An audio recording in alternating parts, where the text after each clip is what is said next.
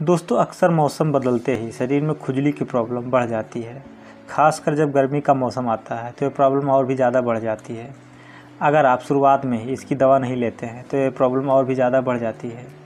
ये आगे जाकर दिना या दाँत का रूप ले लेती है। जब ये प्रॉब्लम और ज़्यादा हो जाती है तो जल्दी से ठीक नहीं होती है। कई कई बार इसे सालों साल दवाई चलाना पड़ता है, तहाँ तक ये प्रॉब्लम ठीक नहीं होती है। तो इसमें सबसे ज़्यादा महत्वपूर्ण होता है कि इसको शुरुआत में ही इसको ठीक कर लिया जाए। जब खुजली की प्रॉब्लम ही नहीं रहेगी तो आपको प्रॉब्लम होने की शंका नहीं रहेगी इस समस्या को ठीक करने के लिए। आज हम एक टैबलेट के बारे में बताएँगे, जिसको अगर आप एक टैबलेट भी इस्तेमाल करते हैं तो आपके बॉडी की कैसी भी खुजली हो, एक गोली से ही समाप्त हो जाएगी। आपको आगे चलकर दांत, खाद, खुजली जैसी प्रॉब्लम का कभी भी सामना नहीं करना पड़ेगा। आज हम इसी टैबलेट के बारे में जानेंगे। उससे पहले दोस्तों, अगर आपने अभी तक हमारे चैनल को सब्सक्राइब नहीं किया है तो वीडियो के नीचे सब्सक्राइब का बटन दिया गया है, उस पर क्लिक कर चैनल को सब्सक्राइब करें। दोस्तों, आज हम बात करेंगे केसेट टैबलेट के बारे में। आज हम इसके कंपोजिशन, फ़ायदे कैसे इस्तेमाल करना है और साइड इफ़ेक्ट के बारे में जानेंगे। दोस्तों, केसेट टैबलेट कोपरन कंपनी द्वारा बनाई जाती है। इसके 10 टैबलेट की एम आर पी होती है, लेकिन ये आपको दस रुपये पर स्ट्रिप आसानी से मिल जाएगी।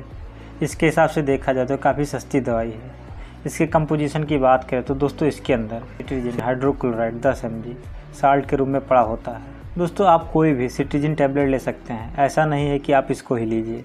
सिट्रीजिन होना चाहिए।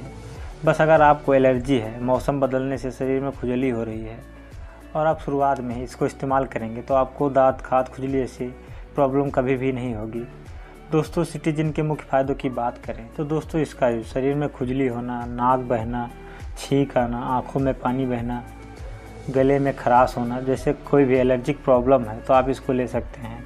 इसके एक टैबलेट से ही आपको लगभग आराम मिल जाता है। लेकिन अगर आप इसको चार से पाँच टैबलेट चला लेते हैं तो आपको पूरी तरह से आराम मिल जाता है। इसको आप अपने घर पर भी एक स्टिप ज़रूर रखें। दोस्तों, अब बात करते हैं इसको कैसे सेवन करना है। तो दोस्तों इसको आप रोज़ाना रात को सोने से पहले एक टैबलेट सेवन करें।